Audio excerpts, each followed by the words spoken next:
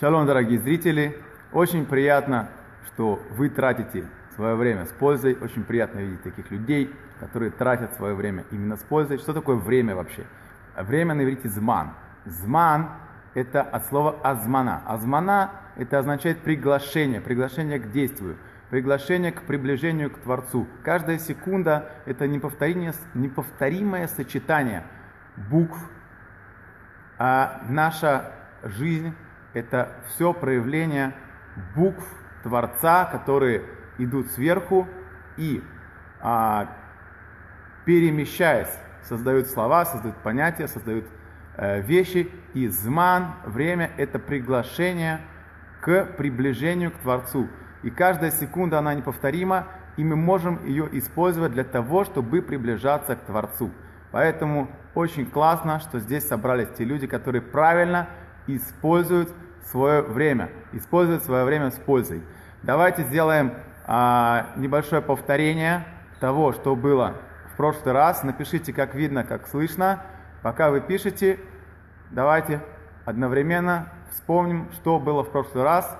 В первой части я рассказывал о том, что Всевышний хочет нам давать все, что нам по-настоящему нужно, самым лучшим путем, без страданий, легко, классно, с радостью, с кайфом. Но почему же он не дает? То есть если представить нас как э, стакан или графин, то Всевышний постоянно туда нам наливает э, самое лучшее вино. Почему оно до нас не доходит, это более правильный вопрос. Оказывается, Всевышний нам постоянно дает. Не доходит это до нас потому, что мы сами закрываемся. Каким образом мы закрываемся? Мы закрываемся нашими негативными убеждениями. Отлично видно и слышно. Супер, Максим, спасибо. Алена, спасибо. Всем привет, всем шалом. Нас 27 человек в онлайне. Отлично. 28, число приближается, э, э, все время увеличивается. Отлично. Э, итак, значит, мы прошли в прошлый раз то, что Всевышний нам хочет дать. Постоянно самые лучшие вещи, но как бы не может, потому что Он ограничен тем, ограничен нашими убеждениями. Наши убеждения сами закрывают нас от Него, и тогда Он нам не может дать то изобилие, которое должно нам прийти и может нам прийти. Как же открыть врата изобилия? Об этом наш урок, об этом мы начнем говорить. Для того, чтобы это понять, нам нужно э, для начала, для начала давайте поймем, как же работает это на уровне психологии, просто по-простому, э, как это у нас работает. Э, есть такая система в организме, в нашем мозгу, которая отвечает за важные и неважные вещи, то есть которая определяет, что нам важно, что нам не важно. Например, мать спит ночью, и рядом с ней спит маленький ребенок. Все хорошо, под низом с грохотом проходят машины, проходит поезд, весь дом просыпается, мама продолжает спать. И вдруг ребенок тихонечко, тихонечко издает писк какой-то небольшой, и начинает тихонечко плакать, и мама вскакивает. Что это такое? Это ее система, в которой четко прописано, что важно, что не важно, когда нужно проснуться, когда не нужно проснуться. Я помню, когда я еще учился в Ишиве, э, мой сосед по комнате был э, в военно-морском флоте. Э, и я помню, там, 5 утра, звонит у него будильник, звонит, всех будет, а, а он, он не встает, ему это вообще ни по чем. Проходит две минутки, и вдруг какой-то маленький, маленький такой звоночек, пи-пири-пири-пири, тихонечко совсем, тихенький звонок, это звонок его СОСа, это звонок его второго телефона, что его вызывают сейчас на помощь в военно-морском флоте, срочно нужно прийти. Он мгновенно встает. Я говорю, как ты слышал вообще этот звонок? Я, я вообще вот с трудом слышу. Это система, которая отвечает за то, что для нас важно, и то, что для нас не важно. Если водитель едет по трассе, и он голодный, что он увидит? Он увидит а, закусочные, рестораны, кафе. Если у него не хватает бензина, что он будет видеть на трассе? Он будет видеть бензоколонки. То есть каждый человек, а, у него есть система в мозгу, которая отвечает за то, что он видит и что он не замечает. Вообще наше подсознание, я помню, слышал это от Исхака Петусевича, воспринимает 2 миллиона объектов в секунду. 2 миллиона частностей в секунду.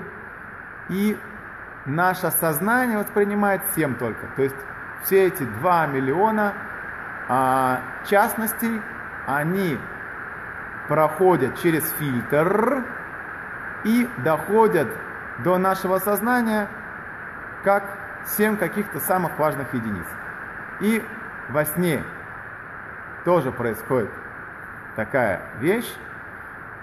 А, я не знаю во сне, сколько мы воспринимаем, но в результате во сне к нам приходит тоже определенное ограниченное количество информации, только из тех источников, которые для нас важны.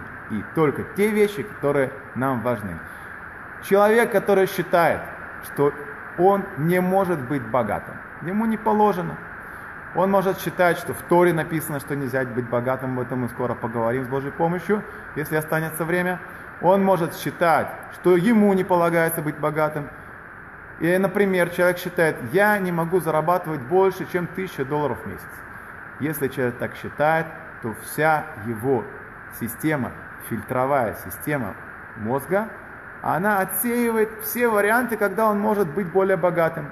И наоборот, человек, который считает, мне полагается, он на самом деле это чувствует, и это настоящее убеждение, а, то а, ага, спрашиваю, что так шумит. У нас идет дождь, у нас идет дождь, а, я надеюсь, я надеюсь, что несмотря на это все-таки слышно меня. Если надо, напишите, я могу говорить погромче. У нас идет дождь по крыше, и это очень слышно на самом деле. Это Израиль. Значит, и человек, который хочет и считает, что он может зарабатывать больше, чем тысяча долларов в месяц, и точно так же, кстати, в любой другой области вы делаете просто, а, как говорится, copy-paste на другую любую область. Человек, который считает, что он может зарабатывать больше, чем тысяча долларов в месяц спокойно, его вся система мозга, вся фильтровальная его система, она будет направлена на то, чтобы найти варианты, как же ему можно зарабатывать больше, чем тысяча долларов и так далее.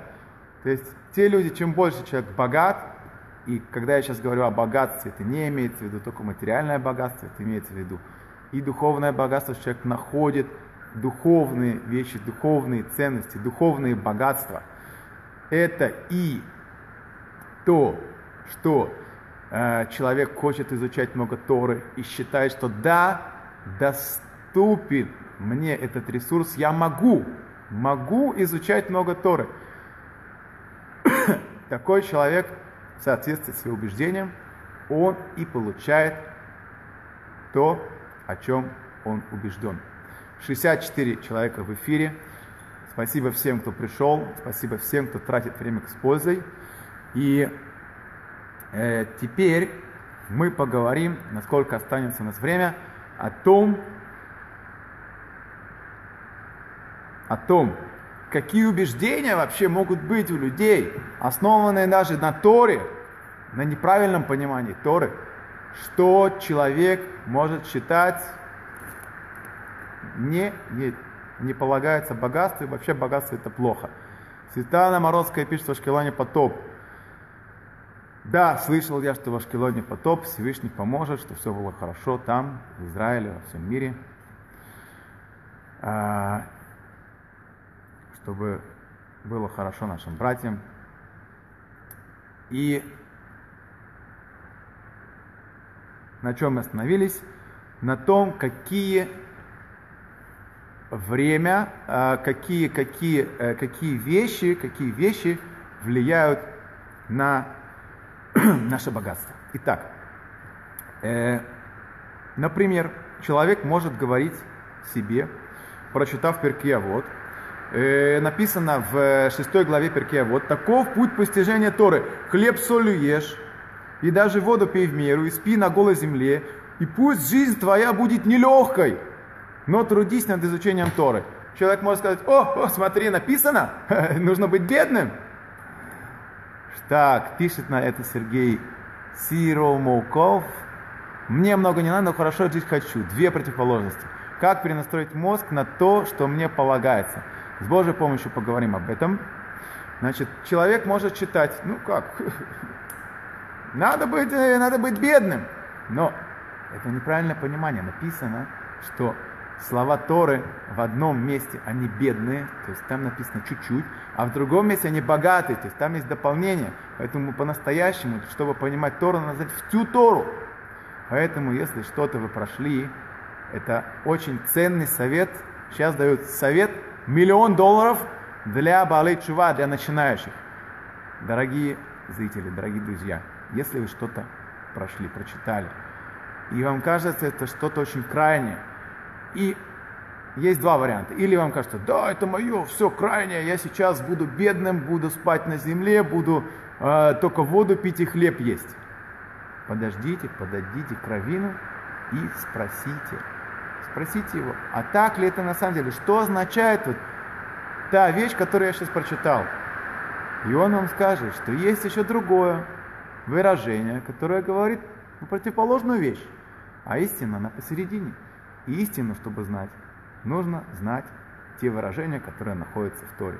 Поэтому нужно спрашивать равина, знающего равина, который вам объяснит, что к чему, что такое дат Тора, что на самом деле Всевышний хочет от нас, что он говорит нам в своей Торе по-настоящему.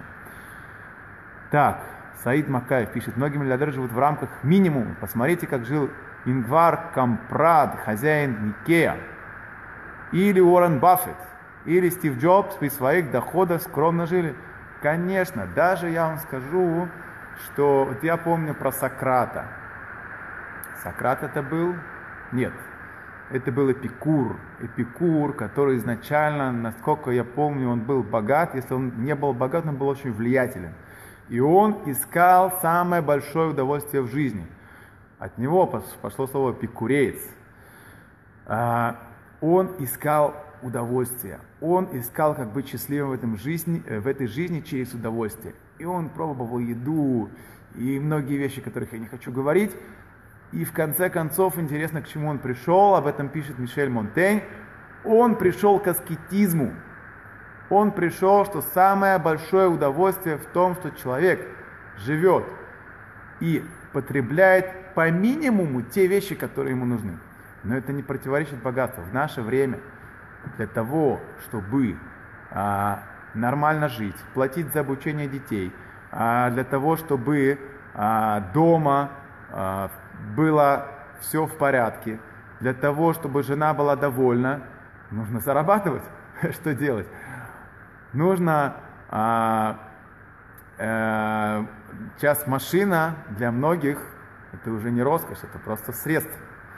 Да, то есть, если все, все зависит от человека, да, но если человек видит, что ему нужно для того, чтобы, для того, чтобы лучше соблюдать заповеди, ему нужно деньги, значит, ему нужно поработать над своими убеждениями так, чтобы эти деньги к нему стали приходить. То есть проблема, а, что когда человек хочет и понимает, что для того, чтобы ему а, соблюдать по-настоящему заповеди, чтобы приближаться к Творцу, ему нужны деньги, у них нет. Как сделать так, чтобы они появились? Мы все делаем для Всевышнего, не просто так. Само по себе, само по себе богатство, оно может быть, конечно, зло. Деньги, сами по себе, как и любое, любая вещь в этом мире, ее, их можно использовать и на добро, и на зло. Нам нужны деньги, то, о чем я сейчас говорю, естественно, нам нужно знать, для чего мы их получаем. А, рассказывают про Бальшем Това, что как-то раз к нему пришли два человека. Один человек сказал, Бальшем То, пожалуйста, помолись, чтобы у меня было богатство. И Бальшем То помолился, да, я желаю тебе, чтобы у тебя было богатство. Второй человек подошел к нему и сказал, Бальшем То помолись, чтобы у меня было богатство. И Бальшем То сказал, нет, извини, я не могу помолиться, чтобы у тебя было богатство. Спросил ученик Бальшемтова, который рядом с ним находился в это время, Дорогой Бальшемтов, скажи, почему? Почему сейчас в первом случае ты помолился за него, а во втором случае ты не помолился? Они попросили одно и то же. Объяснил Бальшемтов. Первый человек, он знал, для чего ему нужно богатство. Ему нужно было богатство для приближения к Творцу. А второй просто хотел богатства. И поэтому, естественно, я говорю о том, что мы должны и хотим приближаться к Творцу, и для этого нам нужны деньги. Если кому-то не нужно, не надо слушать. Если кому-то нужны деньги для других э, вещей, тоже не надо слушать. Мы хотим деньги, мы хотим финансы для того, чтобы приближаться, лучше служить Всевышнему и приближаться к Всевышнему. Саид Макаев пишет, они все так, они выбрали для себя определенный перечень продуктов, который им хватает, за рамки этого перечня они не выходят, соблазны извне их не отвлекут, те информационные, которые говорят, да, согласен с вами, правильно. Человек, у которого есть уже изобилие, он понимает, что невозможно брать всего. Сейчас, например, информационное изобилие, да, мы можем бесплатно получить огромное количество ценной информации. И человек уже понимает, с этого канала я отключаюсь, это спам, а я захожу только сюда, туда и туда, если мне что-то найти, я проверяю ресурсы, на которых это написано. Да? То есть человек себя ограничивает, и точно так же в любой области. Мы должны себя правильно ограничивать для того, чтобы добиться хороших результатов. Даже если взять как пример, который мне пришел в голову, а, человек, например, хочет а, бежать 5 километров, пробежать быстро, профессиональный спортсмен, например, у него скоро соревнования, понятно, что для того, чтобы пробежать эти 5 километров максимально хорошо, он должен ограничить себя в питании, он должен ограничить себя в э, движении, имеется в виду, что больше двигаться, да, или там не ходить в определенные места, он должен ограничить себя в общении и так далее. Деньги инструмент, правильно Илиша пишет, деньги, как и любая вещь, любой наш ресурс, это инструмент. А, дорогие друзья, Подумайте об этом. Сегодня, к сожалению, у нас было немного времени, но это очень важные вещи, которые сегодня я говорил. В следующий раз мы продолжим, будет третья часть, в которой я буду говорить еще более важные вещи с Божьей помощью о том, как приобретать убеждения, как изменять убеждения. Спасибо всем, кто был со мной.